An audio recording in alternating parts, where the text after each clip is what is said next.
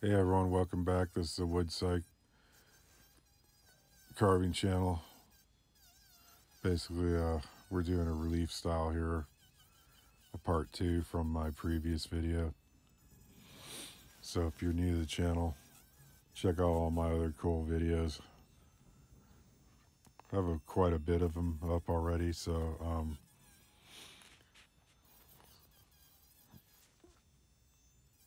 Yeah, I've been uh, busy with a day job. I haven't posted much lately, so but this is my uh, second part of this series. I think it's going to be a three-part series, definitely, because it's taken a little longer than I expected.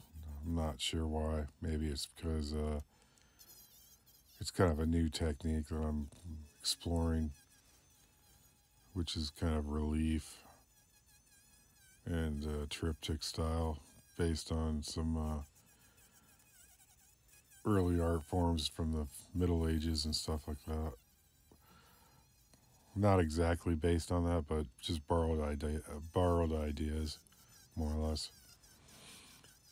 Uh, mainly being the triptych, which you got three images there. Left is uh, basically the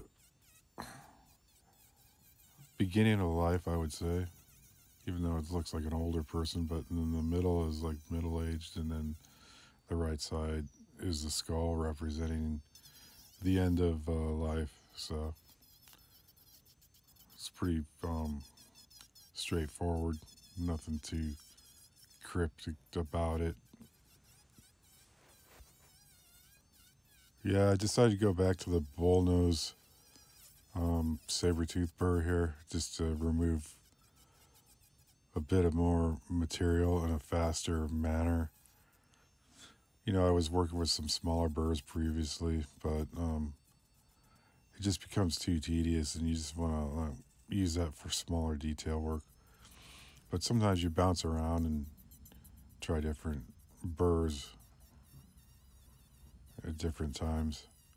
Mainly you want to start off with a larger burr so you can remove stuff, but you always have to be mindful that um, if you take too much off, uh, you can't replace it. So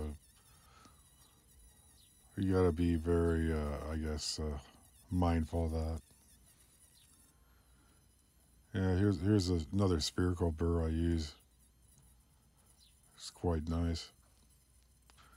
It, it leaves a smoother surfaces after you remove the material. It's not like a hard edged delineations or anything like that. So it's one of my favorites, the spherical burr. And uh, sped the video up as uh, you guys probably already noticed that. And the project, uh, I think real time is over like 45 minutes, but I shrunk it down to less than 15 minutes. But if you want to slow the video down, you can do that in the settings on the YouTube. It's on the bottom right, I think. It's one of those menu items that on the the window, you can select a speed playback. And if you have problems finding it, you can always Google it. They'll show. There's a lot of people that show you how to do it. So that's if uh, you're bothered by the high speed pace of the video. So you can always like slow it down to your liking. It's got multiple settings. It's not like one speed only.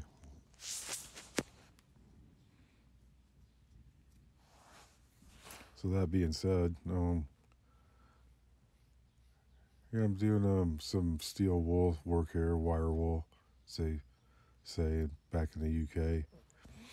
it's one of my favorite tools too. It's relatively cheap. You can buy it at the hardware store.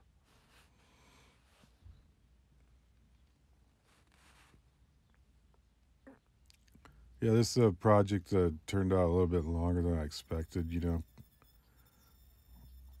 I had a vision to do the triptych thing. Something just came across in thought one day, and so I decided to try it out. I had a rough drawing. You can see it in the the previous first video of this series. Just a basic fast sketch of what I wanted to try to get across. But uh, yeah, it's uh, turned out pretty good so far. I mean, I don't have any qualms except some of the bark I'm going into right around uh, this area here where the skull is. It seems like it's more deteriorated. It's not as solid as the rest of the bark, so it makes things a little problematic. So, yeah, I don't know um, what this piece is intended for, for hanging on a wall, perhaps. Uh, I would imagine because it's got a flat back on it, you know, and stuff. So, yeah, this uh, this project is turning more into like a concept piece, conceptual conceptualization, prototype style, just like a practice. See what um, see where it goes. And uh, yeah, I'm glad to be done with the farming bit because now I could focus more on this stuff, which is my favorite thing to do. Um, otherwise, I'll be doing some more pine knots as well and gathering those up. And probably, like I said in the the previous video, I'll be having a contest for some bark giveaways. And we'll have another contest like I had a few months back. so stay tuned. I'll have some uh, info on that probably in the next video. Since I'm not shackled by the farm anymore, I could have more freedom to go to the post office. Because uh, I guess when it comes to farming, you're pretty much uh, locked in for a certain amount of time. Then you gotta, depending on how dedicated you are, if you want to work it straight through or take some time off here and there. But uh, I tend to work straight through, not take a break and make a make a decent amount of money real quick. Like I said, some weeks are pretty long weeks. They're upwards to 90 hours. So you get you get a bit of cash for that. But it's long hours. That's the downside. But anyway, we're all through with that. So now we're uh, happy to get back uh, carving again. And then I'm going to be doing some uh, side side vlogs on my uh, building escapade where I'm starting to rebuild something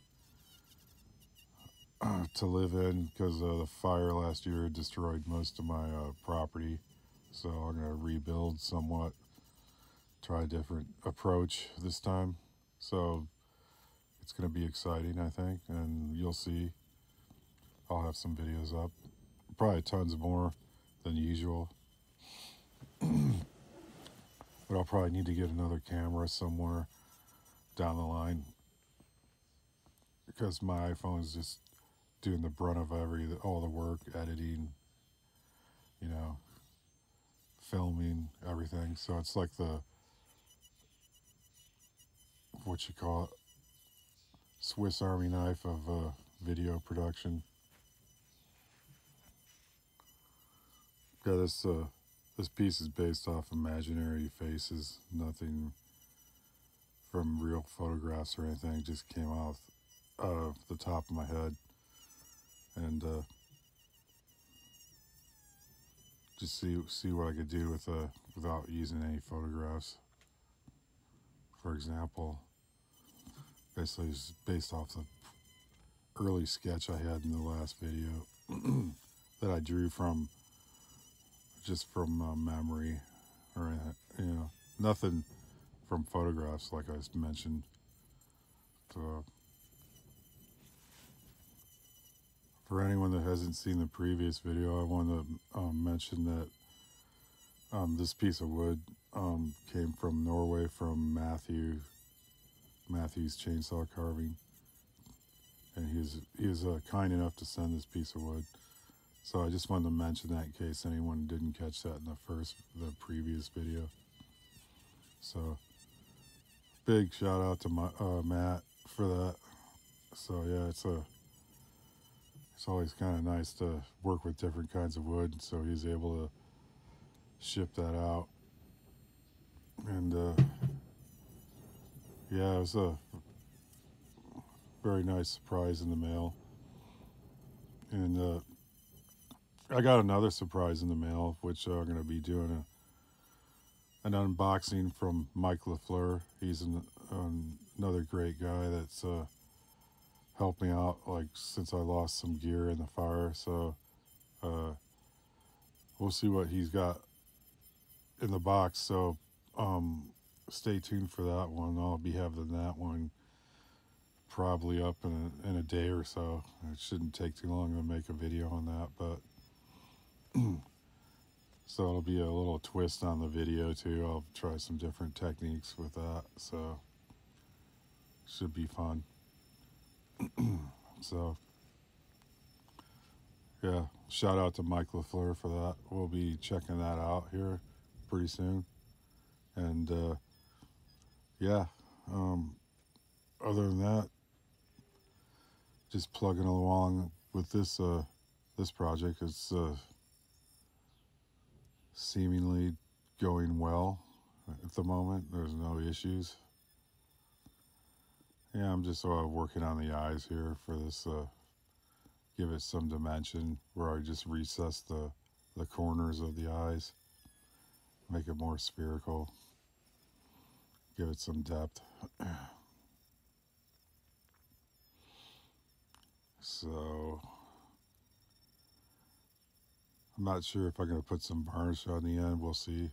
Might have to do a test uh, test varnish on a small chunk on the side, see how how dark it gets, and then go from there.